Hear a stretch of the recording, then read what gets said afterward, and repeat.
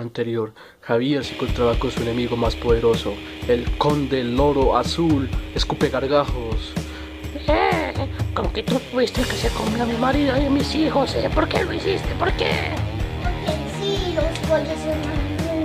Ah, sí. Vamos a ver si te parece rico esto. Te voy a picotear el ojo. Ah, ah, ah,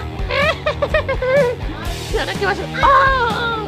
No, este maldito, voy a volver. Ahora sí, toma esto. ¿Qué vas a hacer ahora? ¿Me vas a meter un cabezazo o qué? ¡Ah! Así, te voy a matarte con esto. Toma esto.